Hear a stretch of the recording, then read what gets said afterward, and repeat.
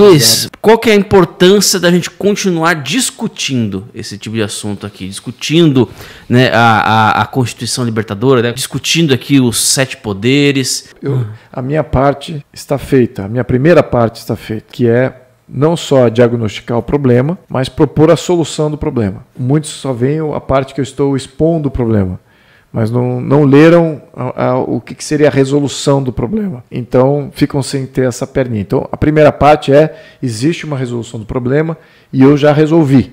Já publiquei a Constituição Libertadora e estou publicando agora os Sete Poderes e talvez eu tenha que publicar mais obras para explicar todo esse, todo esse ensejo. Muito bem. Agora, tem uma outra outro aspecto, que é o de ação. Onde que está a ação? Onde que está o, o, grande problema aqui de Brasil? É que o nosso foco, sobretudo agora na questão eleitoral, estamos no período eleitoral e tal, o nosso foco sempre é eleitoreiro. A pressão, os incentivos para os candidatos, para a população, para o eleitorado, é sempre colocar o amigo dele lá, colocar a cara querida que dele lá, ele é que tem que estar no poder, etc, etc. O que é primordial é discutir o que fazer com o poder uma vez que você o tem. Porque não podemos mais perder, geração após geração, só ocupar espaço sem ter proposta, sem ter um objetivo comum, sem ter um porquê, sem ter um objetivo lá, dizer assim, temos que reformar o Estado brasileiro. Todos os sistemas que temos hoje são sistemas de domínio e controle e remoção de renda, propriedade e oportunidade da sociedade. É isso que temos. E é um sistema oligárquico, centralmente comandado por corruptos, criminosos, incompetentes, que cada vez mais querem mais controle sobre a população. Então, como sair disso? A proposta já está feita. Fizemos a Constituição Libertadora, estamos fazendo os sete poderes, temos talvez outros livros aí, vários projetos que eu representei também como, como deputado, estão propostos, são, estão é, protocolados.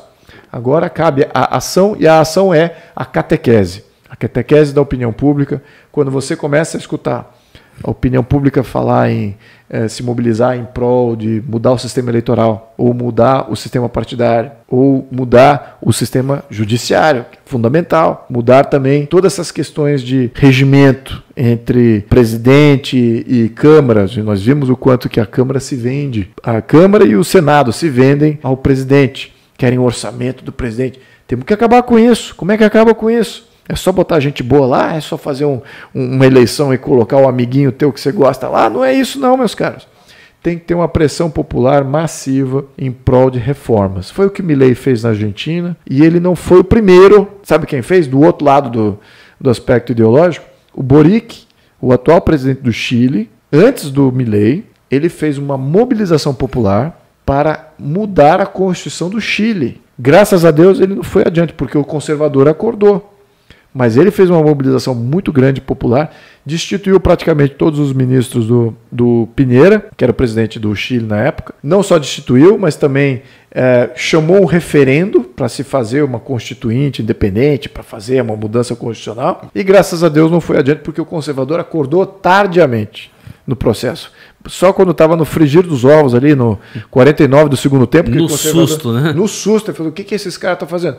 Eu falei assim, é, esses caras estão fazendo, você que não está fazendo. Então, se a população do Brasil quer de fato mudança, entenda que o sistema, agora, estamos a três vírgulas de nos tornarmos o que seria nirvana, seria o céu para o, o esquerdista que é uma constituição que torna o modelo brasileiro no modelo comunista tal qual existe na China, Vietnã, Cuba, etc. etc. É isso que eles estão fazendo. E, e, cadê a nossa mobilização pelas nossas reformas? Cadê? Cadê? Alguém saiu na rua para defender a reforma do judiciário? Quero a reforma do judiciário, saiu na rua.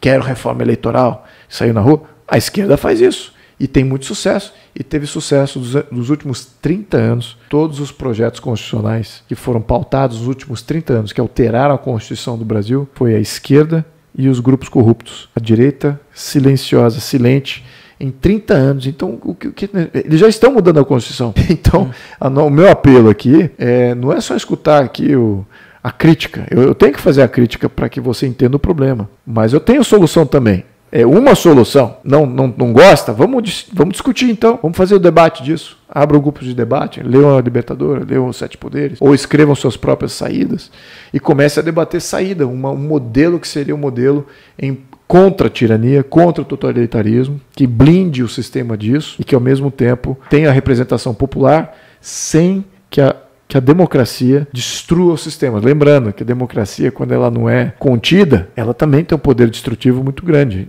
Todos os filósofos odiavam a, a democracia exatamente por causa disso. Agora, na nossa geração, nós queremos a democracia, se tornou um valor de base, queremos poder popular, direto e tal. Muito bem, como representar e como fazer com que esse poder popular haja diretamente sem que o sistema rua. Então, acho que é por aí que uh, nós temos que trabalhar. É isso, temos, temos que ter propostas de reformas. É isso, defender reformas. Essa é a segunda etapa.